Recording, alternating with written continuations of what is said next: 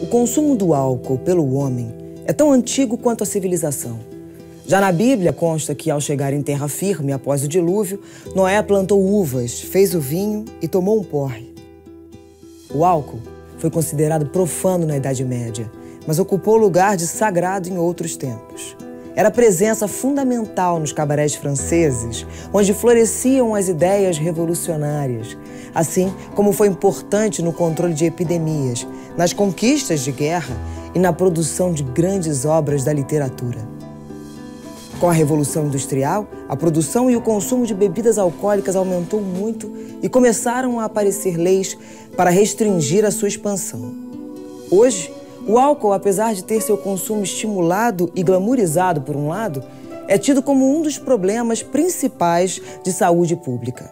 Nesta série sobre as drogas no mundo contemporâneo, o psiquiatra Arthur Guerra discute os usos e abusos que fazemos do álcool. Essa droga legalizada.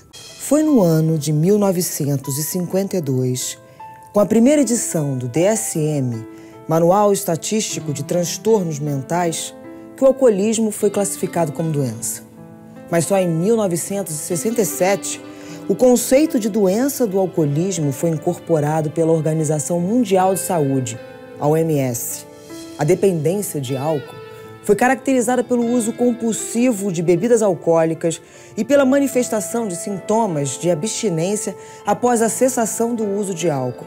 Em 2003, a OMS determinou um padrão moderado de consumo de álcool para pessoas saudáveis, que não deve ultrapassar de 30 gramas por dia, o que corresponde a três copos de chope ou apenas uma dose de destilado. O filme Despedida em Las Vegas retrata a história de um homem que sofre de alcoolismo e que, após perder o emprego, a família e os amigos, vai para Las Vegas para beber até morrer. Mesmo quando tenta parar, ele sofre com as reações de abstinência.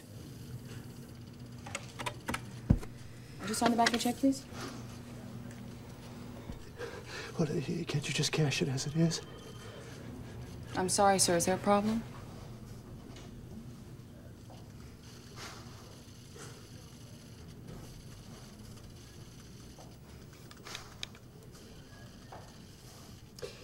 Tell you the truth, I'm a little shaky right now. Uh, I had brain surgery. Why don't I go get some lunch and then, uh, well, well, come back and take care of it then. Festas, baladas, namoro, sexo, tudo regado a muito álcool. Pesquisas mostram que o consumo de álcool entre os adolescentes brasileiros vem crescendo de forma assustadora. O prazer, o entretenimento, estão cada vez mais associados ao uso de bebidas alcoólicas, abrindo caminho para a dependência. Diversos países têm criado leis para restringir o consumo alcoólico. A lei seca proíbe dirigir após a ingestão de álcool.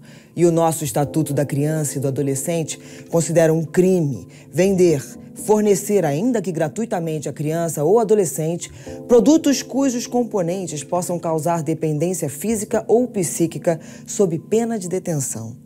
Mas a realidade infringe a lei e desafia a saúde pública. Drink para as mulheres, uísque para os homens, cerveja para os jovens. A publicidade direciona o seu produto a um público-alvo, glamourizando o uso da bebida. Mas a associação entre felicidade e álcool é uma fórmula muito perigosa. A nossa cultura fez do álcool uma droga legal. Enquanto vivemos uma espécie de epidemia silenciosa de bebedores compulsivos. A cachaça é o álcool da cultura brasileira, tema de diversas obras em nossa literatura. Para Rubem Braga, ele diz: Sim, cachaça faz mal, e quanto mais, pior. Mas foi com a cachaça que o brasileiro pobre enfrentou a floresta e o mar. Varou esse mundo de águas, de terras, construiu essa confusão meio dolorosa, às vezes pitoresca, mas sempre comovente, a que hoje chamamos Brasil. É com essa cachaça que ele, através dos séculos, vela seus mortos, esquenta seu corpo, Esquece a dureza do patrão e a falseta da mulher.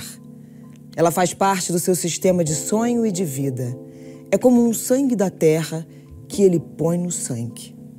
Para Carlos Drummond de Andrade, nós temos outra passagem.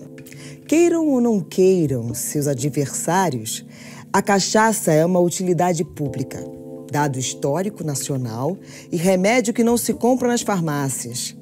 E costuma produzir muito mais efeito que as drogas sofisticadas, com suas bulas herméticas. Não lhe faço apologia de que não precisa. Registro sua presença cultural, seu fascínio sobre a mente do povo.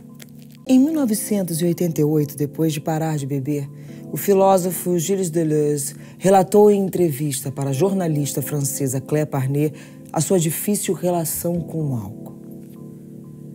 Um alcoólatra é alguém que está sempre parando de beber, ou seja, está sempre no último copo. E o que quer dizer o último? Quer dizer, ele não suporta beber mais naquele dia. É o último que lhe permitirá recomeçar no dia seguinte. Beber, se drogar, são atitudes bem sacrificiais. Oferece-se o corpo em sacrifício. Por quê? porque há algo forte demais que não se poderia suportar sem o álcool. Sentia-me à vontade em tudo. Isso é verdade. Mas ao mesmo tempo nada me satisfazia. Cada alegria fazia-me desejar outra. Ia de festa em festa. Acontecia-me dançar noites a fio, cada vez mais louco com os seres e com a vida. Por vezes, já bastante tarde, nessas noites em que a dança, o álcool leve, o meu desenfreamento, o violento abandono de cada qual me lançavam para um arrobo ao mesmo tempo laço e pleno. Parecia-me, no extremo da fadiga e no lapso de um segundo, compreender, enfim, o segredo dos seres e do mundo. Mas a fadiga desaparecia no dia seguinte, e com ela o segredo. E eu atirava-me outra vez.